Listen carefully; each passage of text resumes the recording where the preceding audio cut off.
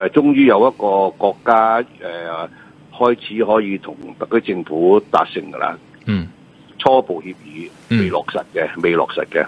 新加坡誒嘅旅客嚟香港每年都係四廿零萬啫。嗯，香港人過去新加坡誒個數字係低過佢哋入嚟嘅嗰個數字。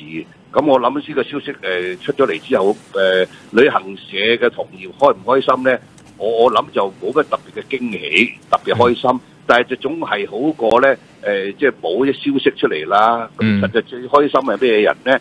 就係喺喺喺喺兩地有親人嘅，咁啊亦都有生意做㗎。對旅行社嚟講，旅行旅客咧，我覺得誒唔係咁誒多人會為咗咁就去新加坡旅遊嘅。嗯，咁你哋會唔會特別推出啲即係旅行社嗰啲產品啊，或者搞唔搞得成旅行團咧？不嬲咧，香港人去星馬遊覽咧，呢、個就應該係七八十年代嘅人先至誒去參加旅行團去星馬遊覽嘅啫。嗯咁啊，近年呢十年啊、十零年咧，已經傾向啲年青人咧，就係、自己去㗎啦，自己訂機位啊、訂酒店，所以咧呢、個對旅行社嘅幫助不太大，但係對新加坡個經濟就會好嘅。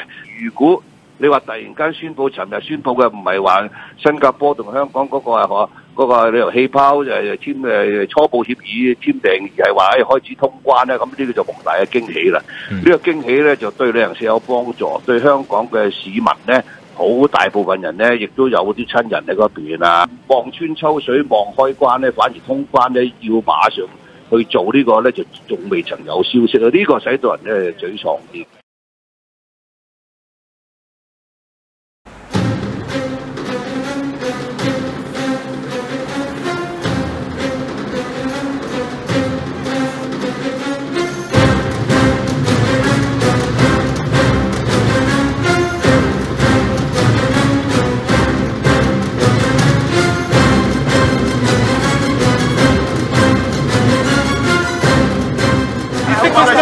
Law in Hong Kong? Pardon me? Is there still rule of law in Hong Kong?